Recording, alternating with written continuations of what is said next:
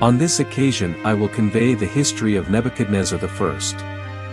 Nebuchadnezzar I or Nebuchadrezzar I, reigned 1121 to 1100 BC, was the fourth king of the second dynasty of Isin and fourth dynasty of Babylon. He ruled for 22 years according to the Babylonian king list C and was the most prominent monarch of this dynasty. He is best known for his victory over Elam and the recovery of the cultic idol of Marduk.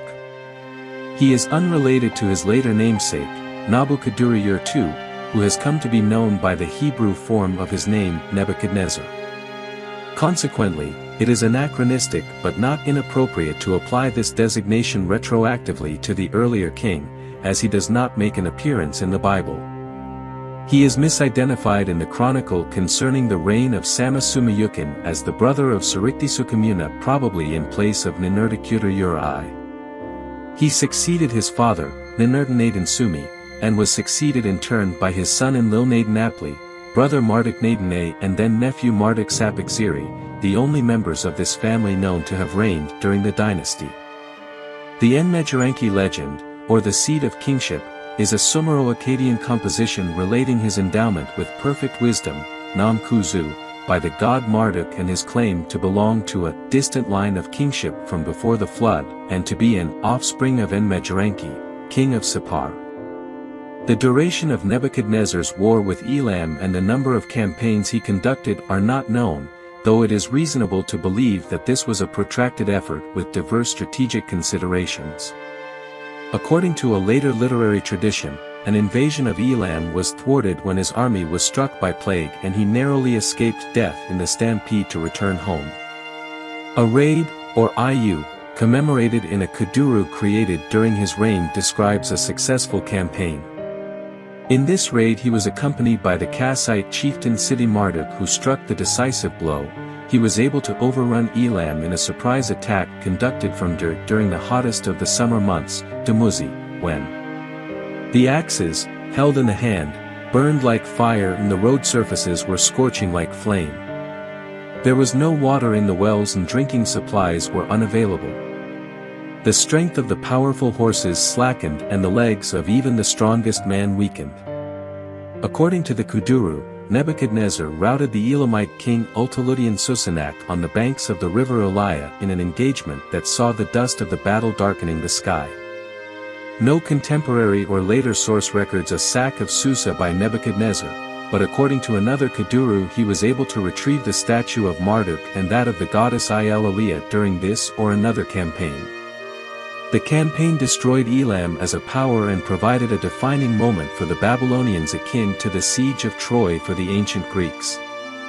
This famous victory was celebrated in hymns, and poetry, and alluded to in the Marduk prophecy.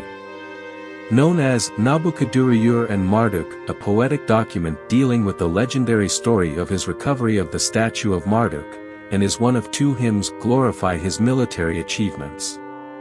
It opens with the king in despair, lamenting over the absence of Marduk, beautiful Babylon pass through your heart, turn your face toward, your temple, Esagila, which you love.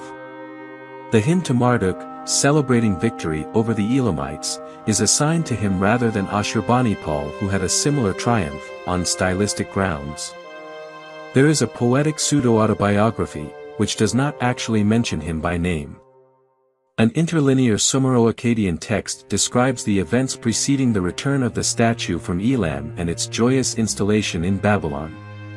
A 7th century astrological report alludes to observations made during his reign and their relationship to his devastation of Elam. The synchronistic history relates his entente cordiale with his contemporary, the Assyrian king Assurisai I, and subsequently the outcome of two military campaigns against the border fortresses of Zanchi and Edi that he conducted in violation of this agreement.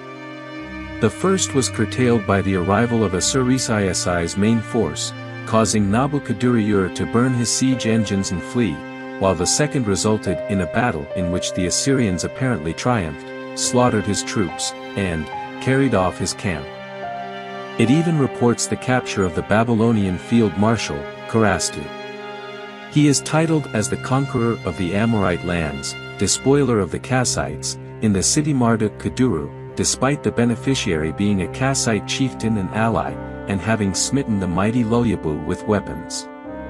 His construction activities are memorialized in building inscriptions of the Ekadasigal Tila, Temple of Adad, in Babylon, on bricks from the Temple of Enlil in Nippur and appear in the later king Simbersipak's reference to his having built the throne of Enlil for the Ekarigal in Nippur. A late Babylonian inventory lists his donations of gold vessels in Ur and Nabonidus, 555 to 539 BC, consulted his stele for the Entepriestis. The earliest of three extant economic texts is dated to his eighth year. Together with three Kaduris and a stone memorial tablet, these are the only contemporary commercial or administrative records extant. Apart from the two deeds related to the Elamite campaign, the other Kaduru bears witness to a land grant to the Nisaku of Nippur, a certain Nadkuibni.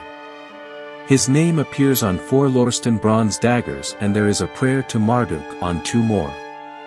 He may be the Nabukaduriyur who is mentioned in the Chronicle of Market Prices which records his ninth year but the context is lost. The Uruk list of sages and scholars names Sagal Kinamubib as the Umanu, or sage, who served under him and the later king Adadapla Dina when he would author the Babylonian Theodicy, and several literary texts are thought to originate from his age, written in both Sumerian and Akkadian. Lambert has suggested that it was during his reign that Marduk was elevated to the head of the pantheon, displacing Enlil and that the Enuma Elish was possibly composed, but some historians claim an origin during the earlier Kassite dynasty.